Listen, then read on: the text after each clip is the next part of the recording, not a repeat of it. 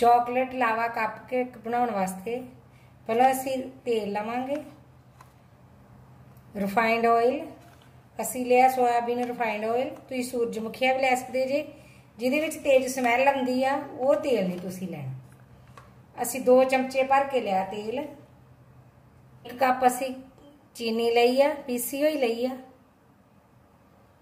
ਇਹਨੂੰ ਮਿਕਸ ਕਰ ਲੈਣੇ ਚੰਗੀ ਤਰ੍ਹਾਂ ਥੋੜਾ ਜਿਹਾ ਅਸੀਂ ਦੁੱਧ ਪਾ ਲੈਣੇ ਅੱਧਾ ਕੱਪ। ਖੰਡ ਸਾਡੀ ਚੰਗੀ ਤਰ੍ਹਾਂ ਮੈਲਟ ਹੋ ਗਈ ਆ। ਹੁਣ ਅਸੀਂ ਇਹਦੇ ਵਿੱਚ ਮੈਦਾ ਛਾਣਾਂਗੇ। ਛੰਨੀ ਲਾ ਲੈਨੇ ਆ 1 ਕੱਪ ਮੈਦਾ ਲਵਾਂਗੇ। 2 ਚਮਚ ਭਰ ਕੇ ਕੋਕੋ ਪਾਊਡਰ ਦੇ ਲਵਾਂਗੇ। ਬੇਕਿੰਗ ਪਾਊਡਰ ਲੈ ਲਾਂਗੇ ਛੋਟਾ ਚਮਚਾ। ਚਮਚੇ ਦਾ ਚੌਥਾ ਹਿੱਸਾ ਬੇਕਿੰਗ ਸੋਡਾ ਲਵਾਂਗੇ। ਇਹਨਾਂ ਸਾਰੀਆਂ ਚੀਜ਼ਾਂ ਨੂੰ ਅਸੀਂ ਛਾਣ ਲੈਣੇ ਆ ਅਸੀਂ ਛਾਣ ਲਿਆ, ਹੁਣ ਅਸੀਂ ਮਿਕਸ ਕਰ ਲੈਂਦੇ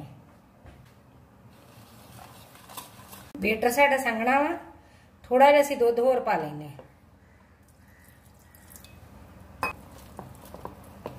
ਇਹਨੂੰ ਅਸੀਂ ਚੰਗੀ ਤਰ੍ਹਾਂ ਮਿਕਸ ਕਰ ਲੈਂਦੇ ਥੋੜਾ ਜਿਹਾ ਅਸੀਂ ਵਨੀਲਾ ਇਨਸੈਂਸ ਪਾ ਲਾਂਗੇ, ਅੱਧਾ ਕੁ ਚਮਚਾ।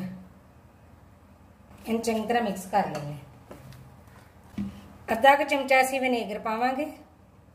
ਇਹਦੇ ਨਾਲ ਫੁੱਲ ਜਾਏਗਾ ਸਾਡਾ। ਥੋੜਾ ਜਿਹਾ ਦੁੱਧ ਪਾ ਲੈਨੇ ਤੇ ਇਹਨੂੰ ਮਿਕਸ ਕਰ ਲੈਨੇ ਚੰਗੀ ਤਰ੍ਹਾਂ। ਬੇਟਰ ਸਾਡਾ ਫੁੱਲ ਗਿਆ ਵਾ। ਕਾਫੀ ਕੱਪ ਲਏ ਅਸੀਂ, ਇਹਨਾਂ ਨੂੰ ਅਸੀਂ ਅੰਦਰੋਂ ਗਰੀਸ ਕਰ ਲਿਆ ਸੀ। ਵੈਸੇ ਲੋੜ ਤੇ ਨਹੀਂ ਸੀ, ਪਰ ਫਿਰ ਵੀ ਅਸੀਂ ਲੈ ਲਿਆ ਵੀ ਇਹਨੂੰ ਚਿਪਕੇ ਨਾ।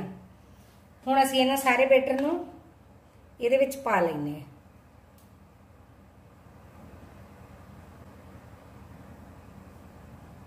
ਇਹਨਾਂ ਨੂੰ ਅਸੀਂ ਚਾਰ ਕਾਫੀ ਕੱਪਾਂ ਵਿੱਚ ਪਾ ਲਿਆ ਵਾ। ਹੁਣ ਅਸੀਂ ਇਹਨੂੰ ਕੜਾਈ ਵਿੱਚ ਟ੍ਰਾਂਸਫਾਰਮ ਕਰ ਦਿੰਨੇ ਆ ਕੜਾਈ ਸਾਡੀ ਗਰਮ ਹੋ ਗਈ ਆ। ਅਸੀਂ ਇਹਨਾਂ ਗਲਾਸੀਆਂ ਨੂੰ ਇਹਨਾਂ ਦੇ ਵਿੱਚ ਰੱਖ ਦਿੰਨੇ ਇਹਨਾਂ ਨੂੰ 20 ਤੋਂ 25 ਮਿੰਟ ਤੱਕ ਅਸੀਂ ਸਲੋ ਗੈਸ ਤੇ ਪੱਕਣ ਦਿੰਨੇ ਆ ਚੈੱਕ ਕਰ ਲੈਨੇ ਆ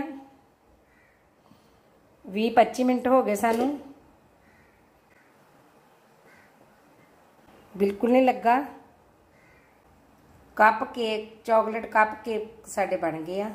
ਹੁਣ ਅਸੀਂ ਗੈਸ ਨੂੰ ਬੰਦ ਕਰ ਦਿੰਨੇ ਆ ਤੇ ਇਹਨੂੰ ਠੰਡਾ ਹੋਣ ਦਿੰਨੇ ਆ। ਹੁਣ ਅਸੀਂ ਲਾਵਾ ਬਣਾ ਲਾਂਗੇ ਚਾਕਲੇਟ ਕੇਕ ਵਿੱਚ ਪਾਉਣ ਵਾਸਤੇ। ਡਾਰਕ ਚਾਕਲੇਟ ਲੈ ਲਈ ਆ ਤੇ ਥੋੜੀ ਜਿਹੀ ਅਸੀਂ ਡੇਰੀ ਮਿਲਕ ਚਾਕਲੇਟ ਲਈ ਅਸੀਂ ਦੋ ਚਮਚੇ ਦੁੱਧ ਪਾ ਲਾਂਗੇ। ਇਹਨੂੰ ਮੈਲਟ ਹੋਣ ਦਿੰਨੇ ਆ। ਚਾਕਲੇਟ ਸਾਡੀ ਮੈਲਟ ਹੋ ਗਈ ਆ। ਫਿਰ ਅਸੀਂ ਦੁੱਧ ਹੋਰ ਪਾ ਲਓ। ਕੱਪ ਕੇਕ ਸਾਡੇ ਸਪੌਂਚੀ, ਬਹੁਤ ਹੀ ਫੁੱਲ ਕੇ ਬਹੁਤ ਹੀ ਵਧੀਆ ਬਣਿਆ ਬਾਹਰ ਤੱਕ ਆਇਆ ਹੁਣ ਅਸੀਂ ਇਹਨਾਂ ਨੂੰ ਕੱਪਾਂ ਲਾਵਾਂਗੇ। ਚੁੰਮਚੇ ਦੀ ਮਦਦ ਨਾਲ ਵਿਚਕਾਰੋਂ ਅਸੀਂ। ਇਸ ਤਰ੍ਹਾਂ ਹੀ। ਆਰਾਮ ਦੇ ਨਾਲ ਹੌਲੀ ਹੌਲੀ ਅਸੀਂ ਵਿੱਚੋਂ ਇਹਦੇ, ਇਹਨੂੰ ਕੱਢ ਲਾਂਗੇ ਪਾੜ ਇਹਨੂੰ ਵਿੱਚੋਂ ਤਾਂ ਕੱਢ ਲਿਆ। ਇਹਨੂੰ ਅਸੀਂ ਰੱਖ ਲਾਂਗੇ ਇਹਨੂੰ ਬਾਅਦ ਵਿੱਚ ਵਰਤਦੇ ਨੇ ਜਿਹੜਾ ਅਸੀਂ ਚਾਕਲੇਟ ਲਾਵਾ ਬਣਾਇਆ ਵਾ, ਉਹਨੂੰ ਇਹਦੇ ਵਿੱਚ ਅਸੀਂ ਭਰ ਲੈਣਾ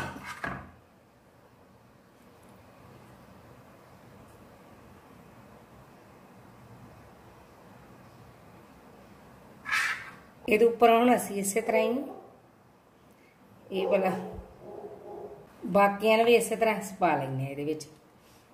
ਲਾਵਾ ਅਸੀਂ ਇਹਨਾਂ ਦੇ ਵਿੱਚ ਪਾ ਲਿਆ। ਹੁਣ ਅਸੀਂ ਉੱਪਰ ਜਿਹੜਾ ਜੁਆਇੰਟ ਦੇਖਦੇ ਆ, ਉਹਨਾਂ ਨੂੰ ਅਸੀਂ ਚਾਕਲੇਟ ਦੇ ਨਾਲ ਕਵਰ ਕਰ ਲੈਂਦੇ ਚਾਕਲੇਟ, ਲਾਵਾ ਕੇਕ ਸਾਡੇ ਬਣ ਕੇ ਤਿਆਰ ਹੈ। ਇਹ ਬਹੁਤ ਹੀ ਵਧੀਆ ਬਣੇ ਆ। ਬਹੁਤ ਹੀ ਸੌਫਟ ਤੇ ਸਪੌਂਚੀ ਬਣੇ ਆ।